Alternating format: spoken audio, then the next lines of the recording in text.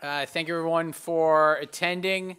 Uh, so I, I understand that I'm the only thing standing in the way between you and dinner. So I promise this will only take about an hour and a half. Um, anyway, so uh, I'm Patrick Newman. The title of my talk is A Rothbardian Analysis of the Constitutional Convention. Uh, this has been a project that I've been working on uh, for a bit. I edited the fifth volume of Murray Rothbard's Conceived in Liberty, uh, as well as some other histories. So it's kind of given a uh, good in depth analysis, uh, good in depth perspective of the Constitutional Convention, as well as sort of the, the aftermath. All right, so what is this presentation about? And why should you care? So this relates to uh, the Murray Rothbard's fifth volume of Conceived in Liberty, uh, which came out uh, late last year, as well as my forthcoming book, Liberty versus Power: A History of Cronyism in the United States, 1607 uh, to 1849. So sort of continuing uh, the story that Murray Rothbard uh, was talking about. So what I'll try and show is this is something that features uh, very large in Rothbard's analysis as well as mine, is that sort of the U.S. Constitution is a thoroughly crony document. Okay, so the first thing, what exactly do I mean by crony? Uh, so you think of why a legislation was passed. Was it passed in the public interest? Uh, I suppose you know some uh, benevolent uh, politicians. They're supporting some uh, policy to mainly benefit everyone overall. Uh, or is it passed due to some sort of special interests in that one group is trying to gain at the expense of the public? So they're trying to get some tax, discriminatory tax, some license, uh, some regulation, etc., to sort of benefit themselves and screw their competitors at the same time. Uh, so this is what I mean by cronyism. Uh, in the Constitution, is just constitutional drives in general throughout the United States, uh, very important in crony analysis, analysis. So the U.S. Constitution is a crony document. It's full of special privileges. In the way in which you understand this is you have to look at the motivation behind sort of the Constitutional Convention, what was established at the Constitutional Convention, as well as what happened after the Constitutional Convention, right? So you've got the before, the during, and the after.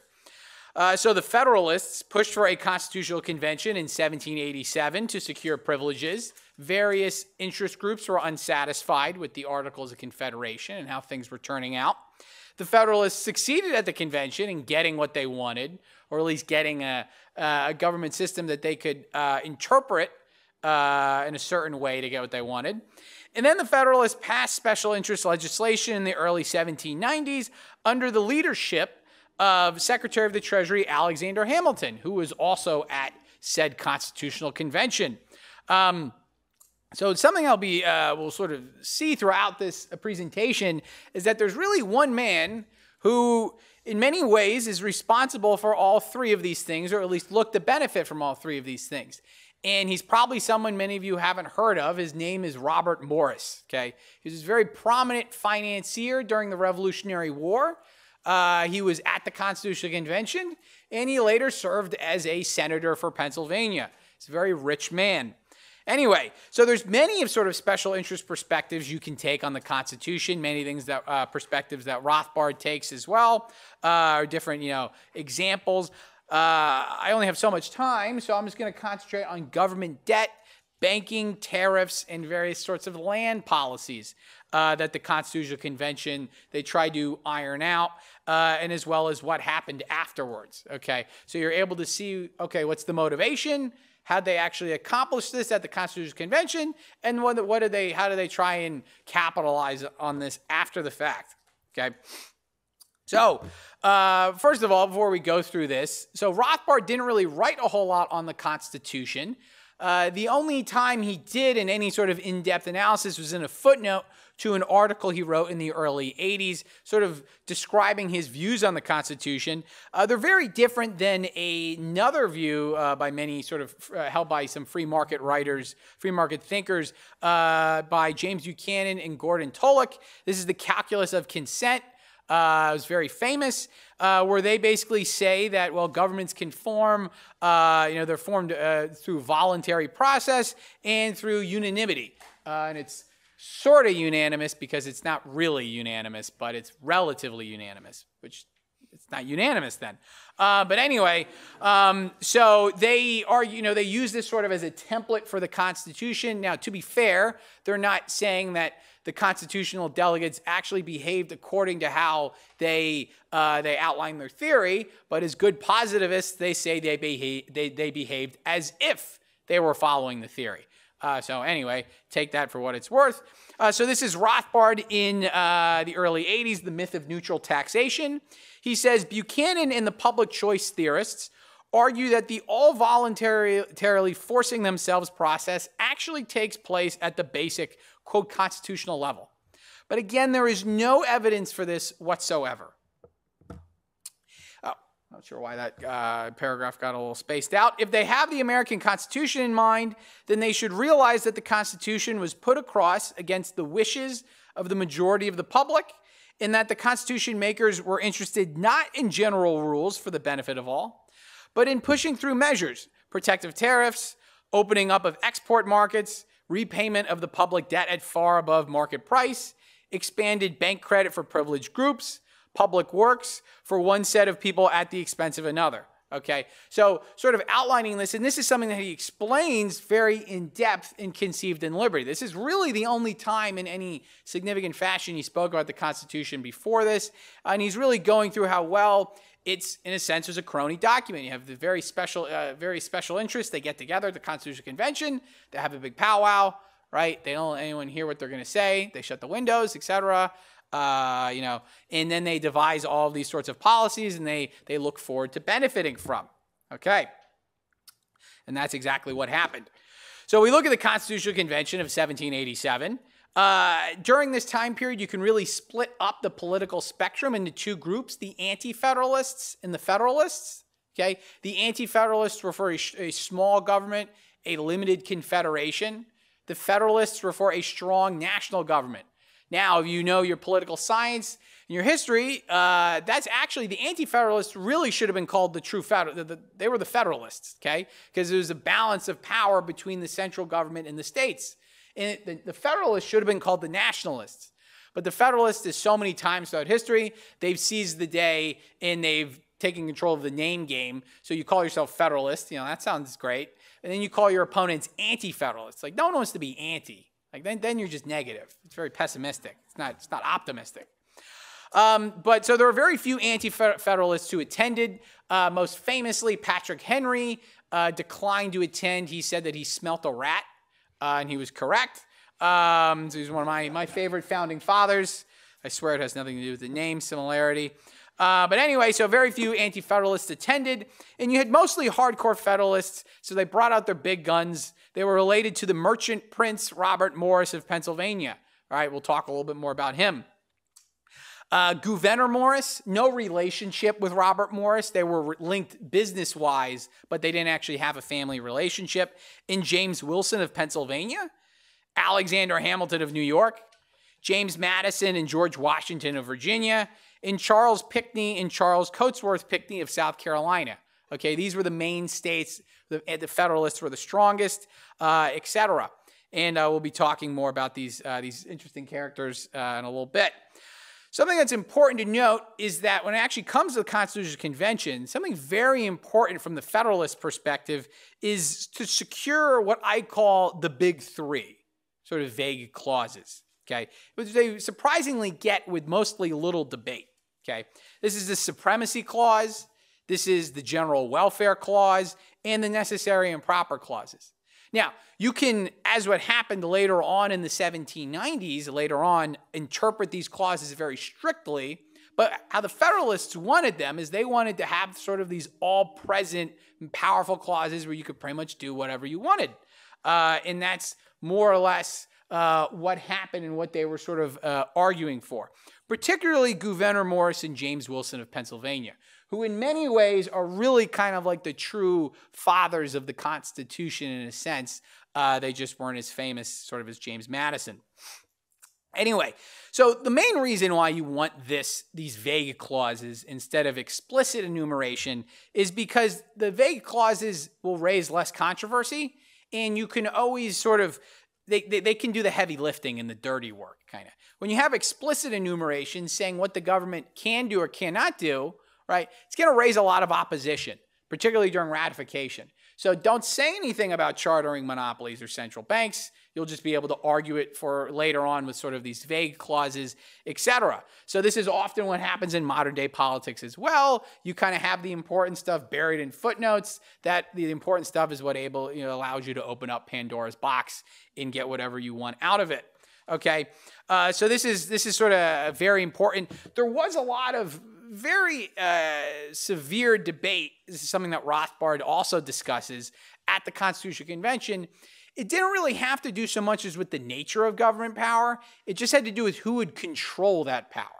So it had to do with, you know, is the is the House going to get you know representation according to population or equal voting, uh, et cetera, or are slaves going to be counted in the representation and so on? And it was eventually decided that the House would uh, be based off of population, uh, partially three fifths of slaves. In the Senate, you, each state would get two votes uh, etc. These were sort of the real controversies at the convention. Okay. Anyway, so let's talk about the actual interests, what they were looking for, and what they got out of the Constitution, and then how they uh, exploited that. So first came the debt speculators. Okay. Uh, this was at least the most prominent group so during the Revolutionary War, if you remember your American history, uh, the federal and state governments they didn't raise taxes to finance the war. Uh, instead, they basically paid soldiers with debt securities. Okay, and then the, you know these securities said, oh well, we'll, we'll raise taxes for them in the future, uh, and so on.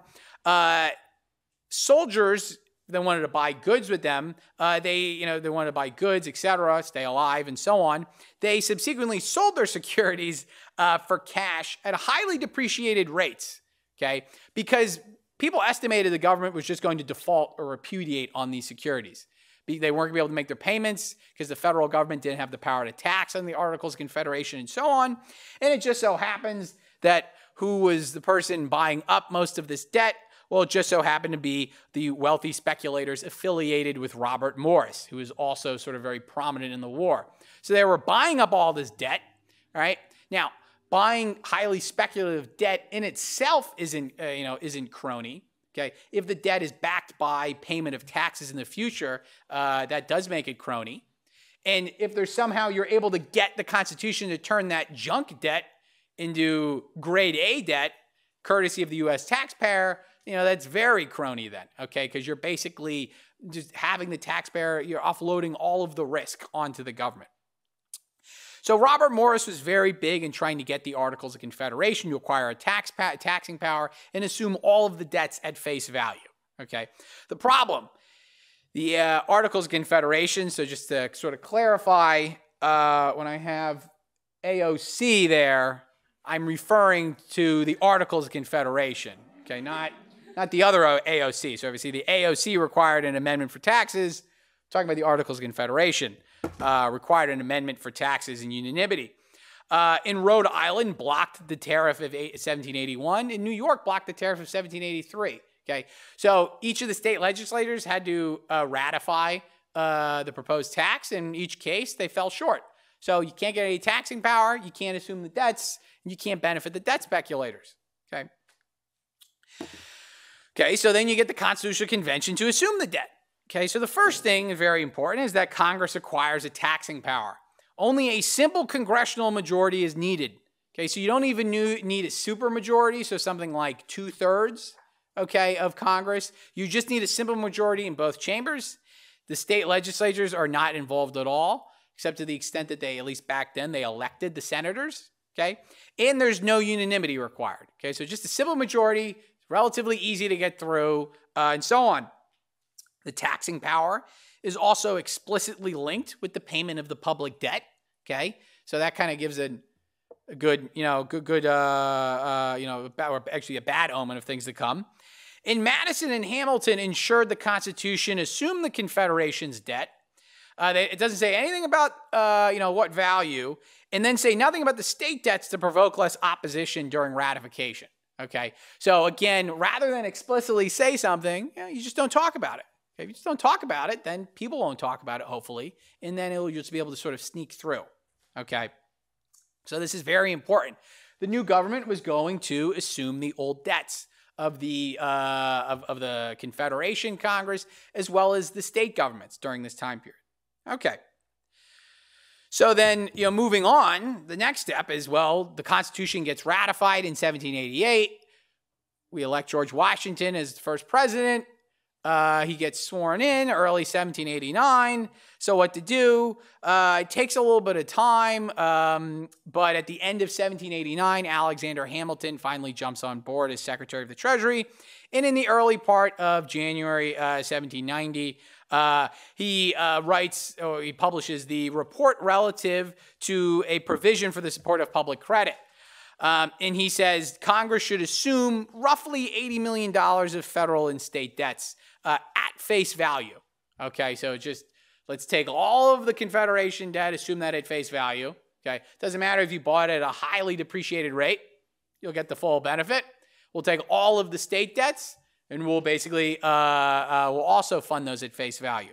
Okay. So, uh, the best analysis I've found of this is by this historian named Irving Brant in 1950.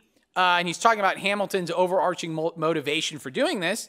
And it was to basically bluntly stated, Hamilton's precept was bind the, bind the rich to the government by self interest. Okay. So, what is he trying to do? Well, he knows all of the securities are held in the hands of speculators. And what better way to enlist the speculators, enlist the rich into your, uh, your new sort of government by giving them a nice payout? Okay. Uh, so, this is a very uh, smart thing, a very shrewd thing to do on his behalf. Okay. Make no mistake about it, he was a genius. You could disagree with all of his ideas, like I do, but he was he was an extremely smart person. Um, so then what you do, uh, continuing this, is that so since 1789, Senator Robert Morris and other affiliated speculators sort of increasingly gobbled up the debt, uh, including Assistant Secretary of the Treasury William Duer. Okay, so you have a guy, he's working in the Treasury, he's like Hamilton's like assistant, and he's engaging in this speculation because he's expecting to benefit. All right. Now, according to various estimates, 80% of the federal debt was held by wealthy northern speculators. Just put some uh, numbers, put some things in perspective. 78 individuals bought up 31% of Virginia, North Carolina, and South Carolina's debt. Eight men bought up half of this amount. Okay. Congress passed debt assumption in mid 1790 after this was occurring. And all these men enjoyed a massive windfall gain, basically. Again, to put some numbers in perspective, by 1795, 5% of debt holders, so those of you had securities holdings of $10,000 or more, right? Back then, that was a lot of money. It was before the Fed, inflation, right? Um, you own, they own 65% of the total debt, okay? Point, it's not a typo, 0.25% of debt holders, $100,000 or more, they own 30% of the debt. Okay, so it was increased, it was basically extremely concentrated among a tight knit oligarchy. Okay, and then when you realize that how did the debt get funded? It was uh, a it basically it was funded through regressive tariffs and internal taxes on whiskey in particular it basically acted, the debt assumption acted as a massive sort of sectional redistribution racket, right? Because your, uh, one, these taxes fell mainly, particularly the whiskey tax fell mainly upon poor farmers in the West, all right? And so they were paying for, uh, to fund the securities held by rich elites in the East, okay? This was a big problem. Uh, this is what a lot of people got upset about, particularly uh, some farmers in western Pennsylvania who raised a stir over the whiskey tax, and George Washington and Alexander Hamilton had to go in there with the cavalry and scare them uh, into paying the tax. So, you know, uh, so that's in this in this way, basically, the the debt interests were able to get what they wanted using the Constitution. Okay. Next came the bankers. All right. Um, so during the Revolutionary War, at the behest of, once again, financier Robert Morris, uh, Congress chartered the Bank of North America in 1781. Okay, the Bank of North America also acquired a Pennsylvania state charter.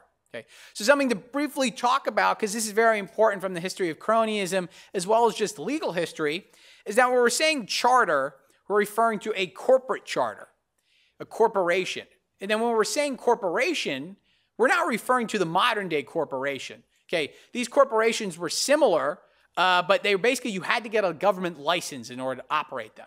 So, in order to use the privilege of limited liability, which can be something that can be, you know, voluntarily agreed upon in the market, okay, it's something that enormously reduces the risk of, of owning stock in a corporation.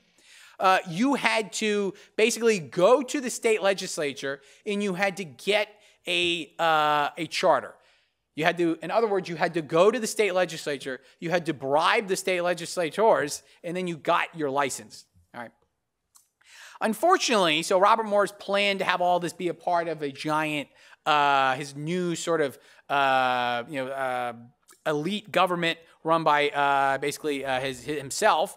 But it all fell apart once the Confederation was not able to get taxing power. And by 1783, the Bank of North America lost its federal charter. And in 1785, Pennsylvania weakens its state charter. They say, hey, we're just not going to keep giving you all these privileges uh, regarding uh, blocking out competition, how much money you can raise, uh, certain uh, other subsidies, etc. And the Pennsylvania, Pennsylvania state is also printing its own money. Okay, and this is acting as competition to the Bank of North America. So Robert Morris and his associates are not too happy about this. Okay. So, what do they do? Well, uh, you get the Con- uh, Constitutional Convention to deliver various banking privileges. So, the Constitutional Convention initially decided to explicitly empower Congress with the ability to print money. Okay, and this power could be used to print money to give banks uh, reserves that they could use to engage in credit expansion, uh, finance wars, uh, and so on. However, it struck it out. Now, you might think that this meant that the Constitution forbids chartering uh, companies. Uh, well, at least according to Gouverneur Morris and James Madison, who are sort of the main architects of the Constitution. Well, now the Constitution just restricts printing to a quote responsible minister in quote safe emissions. Okay, so once again, you're getting rid of the explicit uh, aspect, and well, you know, you can use the general welfare clause, and well, you could do you could do it through there. Uh, that's what Gouverneur Morris said. It's like, well, you, you, you know, you can just do it through that. Uh, Robert Morris and Gouverneur Morris led the effort to get the Constitution to explicitly prohibit the states from printing money because they didn't want that at all. Okay. And this is very important. Of Pennsylvania's eight delegates, seven to own stock in the Bank of North America. They didn't want competition from uh, Pennsylvania. So this, they basically said, oh no, we want to prevent Pennsylvania from being able to print money, and we want basically most of the money printing to come from privileged chartered banks. In essence, monopolies. Okay. So the Constitution said nothing about the federal government's power to print money it was implied, but explicitly prohibited states from printing money. Okay. Once again, the vague clauses can do the dirty work. At least this is this is the argument: is that you don't want to say anything about the federal government because once again, you can argue it through the vague clauses, but you you do explicitly say something about the state governments because you don't want them doing that. Okay. okay. James Madison at the convention also proposed giving Congress the explicit power to charter corporations, and the convention shot it down. However, again, the Federalists, the arch Federalists, such as James Wilson, said, well, such ability, you know, we don't need this because it's already included in the power to regulate trade. Why explicitly say something? It's going to raise a lot of controversy. Then it's going to think that, oh, if we're explicitly saying some things, we won't be able to do other things, etc. And Morris thought that the General Welfare Clause authorized Congress to, quote, grant exclusive privileges to trading companies. So once again, the big three, uh, you know, you can, you, can do, you can do the dirty work. All right. This is, this is sort of the idea. All right. So Constitution, you know, you kind of have that uh, thing built in, you know, an embryo about, you know, the bank. It's in there. Be able to do it. You get char- Congress to charter a bank. Secretary of the Treasury, Alexander Hamilton, you know, he's such a diligent worker. About a year, you know, after the after he writes his his debt funding thing, well, then he writes a report on a national bank later in 1790. It's referred to a Senate committee. Who's on the Senate committee? Well, Senator Robert Morris is on the committee. And the other three out of five members, including Morris, they own stock in state banks. So, will this committee be favorable to a central bank? Yes, it was. Uh, and in February 1791, after much debate, Congress charters the Bank of the United States. Now, something very interesting about this, if you know the bank controversy, you'll know that Uh, there was a debate between Thomas Jefferson and James Madison and, and George Washington and, and, and Hamilton. And George Washington was the president. He kind of didn't know what to do. He was going to lean towards his fellow Virginians, and then he sided with Hamilton. Uh, one of the things that people don't talk about is that you know at the same time, the real reason actually why Washington signed the bill is because at the same time he was given authority to choose where the capital is going to be. The capital. Um, was currently, it was not, DC was not created, okay? And he had the ability to put it somewhere in Virginia. And he, you know, was given a little small uh, section. Now, he wanted to maybe move the capital right outside of that small section that Congress allotted because it was next to a bunch of his property, right? And it would increase the value of his property. And he wasn't able to do that if he was going to veto the bill. So what happened is he signed the bill. Congress amended the act, allowed him to move the uh, basically the capital just a little bit closer to his land, just a little cushion, you know, a little, a little sweetener uh, for himself. Uh, and then that's how we get the bank. Um, bear in mind, Washington and Morris were actually very, uh, very close. Robert Morris. So anyway, Congress charters the Bank of the United States. Importantly, it's got a 20-year monopoly over interstate banking. It's Philadelphia-based. Okay, the main office is in Philadelphia. You can establish branches across the country, uh, but Congress isn't going to charter another bank with interstate uh, branching. So it's basically the only game in town in that regard. It's a huge monopoly. It's got a $10 million capitalization. The federal government owns 20% of this. Uh, chooses some of its stock, uh, its directors, and private ownership can be purchased with specie or government debt. That other requirement, you know, the other um, uh, point there about purchasing stock with government debt, that also is going to increase the price of the government debt held by the debt speculators. It's just another another little sweetener, right, to benefit the debt speculators.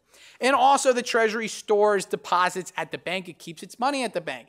This is a massive subsidy, right? Because the bank now has a massive amount of revenue, uh, you know, you can use to engage in loans and credit expansion all of that stuff. Okay. All right, let's look more at this bank. 50% of congressmen who voted for the bank bill purchased stock in the institution. I wonder why. Ownership was concentrated in Boston, New York City, Philadelphia, and Charleston. The government directors were mostly associated with Senator Robert Morris.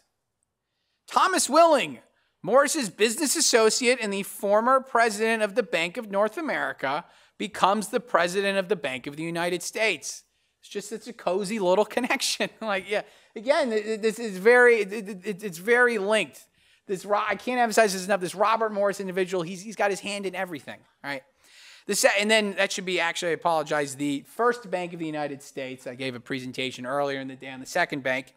Uh, the first Bank of the United States lends mainly to the federal government into large federal federalist businesses, land speculators, debt speculators, merchants, etc. Okay, so you're able to create an institution with the privilege to print money, and you're going to funnel it into your uh, particular businesses. Okay, so those connected with the bank uh, and so on in the Federalist Party. Okay, uh, so this is something uh, very prominent. It's not unusual uh, for the, you know, at least for the Federalists to be pushing for this through the uh, through the bank. They did the same thing where they intentionally only promoted, appointed their men to run the government uh, and not the opposition. Okay, the anti federalist opposition, at least early on. Okay, so we've got the bank now. Okay. Well, then came the manufacturers. Right. So we go back to the Constitutional Convention. So, under the Articles of Confederation, Northern manufacturers could not secure uh, high interstate tariffs. So, New Jersey placing a tariff on uh, goods from New York, or New York placing a goods on uh, tariff on goods from uh, New Jersey, etc. And why weren't they able to? Well, one, the South supported low tariffs. Okay, they didn't really want to develop their manufacturers; they were primarily uh, agricultural. Right, so that was immediately undercutting because importers would buy goods through the South instead of through the northern states. All right, and there was also interstate competition. Okay, if one state has high tariffs then the other states are going to undercut them, okay, because they're going to try and get more of the revenue. This is why cartels don't work, okay? It's very similar uh, with interstate competition, okay? Though it's, it's not certainly as, as good as the free market. Uh, it's close enough. And interstate tariffs actually were just around 5%. Sometimes they were they were larger or they were stated to be larger, but this was before you had things like uh, smuggling or sort of various rebates or, or other sort of things that cut uh, exemptions that sort of cut the tariffs uh, lower to about five percent. You know, uh, not terrible a lot of people would always make the argument, oh, New York was somehow running like its own, like, you know, the mafia had already controlled New York at that point and they were, they had very high tariffs hurting the nearby states. In reality, actually, New York had uh, very, um, uh, you know, similar tariffs. The fact is that New York was controlled by anti-federalists, particularly uh, George Clinton, so no relation. Uh, and the fact that nearby states like Connecticut and New Jersey that were griping about this, they didn't have any major city to import goods from. Right? And nothing's changed, right, from the 1780s to now. Like the main cities in Connecticut and New Jersey come nowhere close to New York City. Okay. So, in other words, they were just upset mainly about the comparative advantage New York had. They also had no success at, on the federal level securing a tariff. So recall the failed tariffs of 1781 and 1783. And these tariffs themselves weren't large, they were around like 5%. Uh, but they failed. Again, remember, always the opening wedge, right? You always start off low. You say you're going to institute a wealth tax of 1% on the richest people. You say you're going to institute an income tax of, you know, 1% on the richest people. Give it a couple of years, the net spreads to everyone. Uh, but you always got to get your foot in the door first. Northern merchants experienced similar difficulties with navigation acts, so these various restrictions benefiting American ships as opposed to British ships, etc. That's a whole separate story. You can literally go to the fascinating uh, story of, of merchants uh, pushing for navigation acts and, and subsidies to beef up the Navy to allow them to sort of conquer the world's commerce. Uh, but that's a presentation for another day, I guess. Um, so, anyway, so you got the problem. What's the Constitution going to do? Well, the convention outlawed interstate tariffs. All right, we don't want that. We don't want that competition. We just want the federal government to uh, enact a um, a large tariff wall, and you require only a simple congressional majority, 51% for tariffs. Right, just so we were talking about the taxing power. Okay, this is a very frank statement. Rothbard emphasizes uh, in the um, in his in Conceiving Liberty by Nathaniel Gorham of Massachusetts, and he says, you know, justifying this simple majority says if the if the government is to be so fettered as to be unable to relieve the eastern states what motive can they have to join it? In other words the only reason the eastern states i.e. the northern states are going to join the government is if we can raise tariffs okay? You know at least one of the main reasons. Some southern delegates wanted a supermajority two thirds for tariffs and navigation acts. So this included some Southern Federalists as well as some Southern Anti Federalists, such as the great George Mason. Uh, but the Northern delegates sort of won over enough Southerners, particularly the Southern Federalists, by sanctioning the slave trade until 18, uh, 1808, particularly uh, some of the delegates in South Carolina. Okay. Um, South Carolina, throughout the 1790s, so this all, uh, whole time period, was a very uh, big, sort of strong uh, Federalist bastion, you could say. All right, anyway, so sort of moving on, uh, then we would get Congress to pass tariffs. So Congressman Madison pushes for the Tariff Act of July 1789. Basically, the first act that the government uh, passed was, to get revenue, right? Uh, it's, it's all about the money. Uh, as the North wanted high tariffs, the South wanted low tariffs.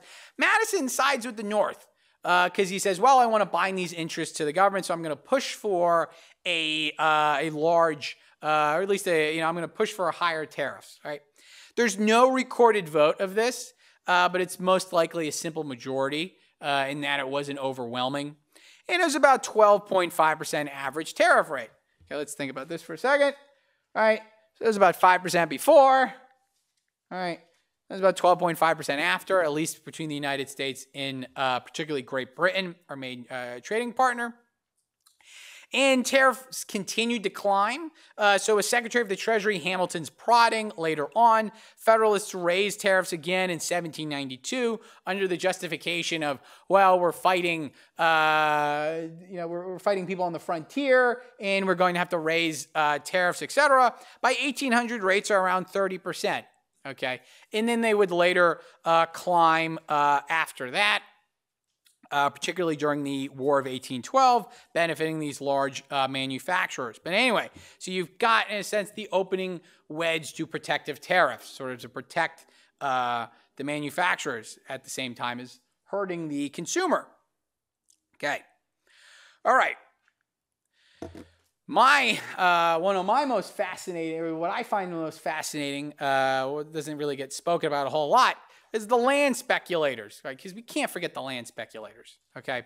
So land speculators, what they would do back in the day, this is something that isn't always understood too much now because we live in a world where most uh, land is basically owned by someone, or at least it says it's owned by someone, the government, individuals, etc. But back in the day, right? You know, the United States is just on the eastern side of the North American continent. You had a lot of land speculation, a lot of land was unowned, etc. And so uh, there's two ways Rothbard says and Conceived in Liberty of owning land, or at least saying you own land. The first is that you actually own the land through homesteading, through mixing your labor and appropriating the land. This is the natural sort of rights perspective of ownership, okay, is the Lockean perspective. Or you can have is you just have the government says, yeah, I own that land over there. Right? They don't really do anything. They just sort of plant the flag and they say, well, we're going to take uh, all of this land. Okay, just like the original Virginia colony, King James said they owned the land from sea to sea, right? Which literally would mean from the Atlantic to the Pacific. It's just, it's all theirs. The king has willed it. Okay. Um, now, what they would do is they would acquire grants of unappropriated land from the state governments, at least in the 1780s, and then they would turn around and sell to settlers at a profit. Okay, and this would be an un, you know sort of a, a crony profit because they didn't actually really justly own the land to begin with. Okay. And then they got sold to the people who would appropriate it and so on. So again, they would have massive tracts of land, and then they would just basically bilk the public by uh, by basically selling it at artificially high prices. Now, one thing speculators are worried about is they're worried about state governments would grant these uh, uh, these massive land uh, you know, disbursements, and then later on, an opposition uh, you know legislature would come in and they'd say, "Hey, wait a second, this is totally ridiculous uh, no, we're going to rescind this grant. Okay. They didn't want that. Okay. Similar to sort of Pennsylvania's weakening of the Bank of, the, of North America's uh, charter. Okay, so you got to stop that. You get the Constitutional Convention to protect land grants. So James Wilson, okay, he's an attorney for Robert Morris, who's also a land speculator. And James Madison secure the contract clause in the Constitution, and they wanted to prevent state legislatures from interfering with speculative land grants, particularly James Wilson, right? He's a lawyer for a land speculator and he wants to prevent people from rescinding the land grants. You're like, oh, okay. Uh, there's nothing, nothing fishy going on there. Um, so they get this. So this contract clause can be interpreted from our perspective as sort of the later anti-federalist Republican interpretation to say the government can't interfere with private contracts. You know, that's great. A main motivation was to protect crony contracts, was to prevent the governments from actually sort of weakening those private or excuse me, those uh, those um, those government sort of uh, you know, government subsidized grants, you could say. Okay, this is very important. It's also very important to everyone remember James Wilson, all right, and Robert Morris. Is then you get the state legislatures to dole out land grants under the Constitution. I'm sure most people haven't heard of Yazoo or the Yazoo lands, okay? Uh, but you might have heard of Alabama and the Mississippi. Okay, back in the day, Georgia owned Alabama and Mississippi, or the land that became Alabama and Mississippi. Okay, and in 1794, the Yazoo land sort of uh, encompassed a large part of this. You can just kind of think of modern day Alabama and Mississippi. And in 1794, four land speculator companies bribed the Georgia legislature into selling 35 million acres of land. Okay, it's a lot for a paltry $500,000. It's like 1.5 cents an acre. Okay, that's bargain. Okay, just, oh yeah, here you go. Like, build your own kingdom, uh, you know, and you'll be able to sell it and basically uh, really screw all the farmers and everyone else who's going to move in those areas uh, and so on. Senator Robert Morris and, Federalist Supreme Court Justice. Yes, he got elevated to the Supreme Court. They're involved in the land speculation. Okay, so let's think about that for a second. In many of the land companies, they quickly sold their, uh, their ill gotten gains. For example, the Mississippi Company sold part of the land for part of its land holdings for over a million dollars. One, uh, you know, basically, uh, you think of 1.1 million dollars. The original cost they paid for this was less than $200,000. Okay, it's a huge uh, uh, turnaround. Okay, now when Georgia, the Georgians, the, the people of Georgia, they find they, they find out about this this sort of this this ridiculous uh, proposal uh, that actually happened. They're they're furious. They throw out the state congressman in uh, later elections. In the new legislature in 1798, repeals the land grants. Okay, so saying, yeah, everything we did last legislature, that's totally ridiculous. No, you don't own the land, etc. So what do the land speculators do? Well, one thing they do is they turn to their great Federalist father. They turn to Alexander Hamilton. They say, What do we do? Uh, and he says, Well, if you take this court to the Supreme Court, if you take this case to the Supreme Court, excuse me, well, they're going to protect land grants using the contract clause. Okay? Just like what lawyer and eventual Supreme Court Justice James Wilson intended. Okay. Now, you might think that James Wilson would actually be the one overseeing this case. Uh, however, in a sense of poetic justice, the panic of 1797, caused by this, the First Bank of the United States credit expansion, it really just crushes Morris and Wilson. Okay, they have to spend some time in debtor's prison, etc., uh, and they just sort of become non-entities. However, the land speculators, they're still looking um, to benefit. Eventually, the case goes to John Marshall, the John Marshall Court, right? Who's a Virginia land speculator. He's also affiliated with Robert Morris. His younger brother, James, married Robert Morris's daughter. Okay? Like, this guy's everywhere, Robert Morris. And he ruled in favor of a partial bailout to the Yazoo claimants in 1810 in this famous court case, Fletcher v. Peck. Now, the corrupt Marshall, and I'm not exaggerating, he also wanted to use this case to protect his own pocket because he himself was involved in various land speculations, and though he later sold them, etc., there's a lot of things tied up in the court case as well as that did the Marshalls uh, who speculated with Morris own land in Virginia, and that was decided in 1813 and in 1816 by the Supreme Court as well. Now, Marshall was um, good enough. He excused himself from those court cases, but Justice uh, Joseph Story basically delivered, who also worked for land speculator interests, basically delivered the ruling. Okay, so we've got that. So, a great quote to sort of summarize what the Federalists were trying to do at the Constitution Convention with the Constitution and in the early 1790s is by Curtis Nettels. So, the, the, the best histories are the old histories. Uh, and he's speaking about this Federalist program. And he says the Federalist program did not give birth to many large new fortunes. Its principal beneficiaries were men of substance who had become affluent before 1789. Their enlarged wealth enhanced their influence in government and society and pointed to an age of big business in which captains of finance would occupy the seats of the mighty. Okay? They were trying to basically create uh, a government ruled by the wealthy elites. Okay, this is a very succinct way of describing that. Okay, All right. So first you get the convention. Okay, then when you get the convention, then you get the Constitution. Then when you get the Constitution, then you get the special privileges. Okay. So that's basically what I said there. In 1787, Federalists pushed for a constitutional convention to secure privileges. They secure the privileges in the U.S. Constitution. Then they get Congress to enact said privileges using the U.S. Constitution. And uh, you should read my book when it comes out, where I talk about this stuff in more depth. All right, thank you very much.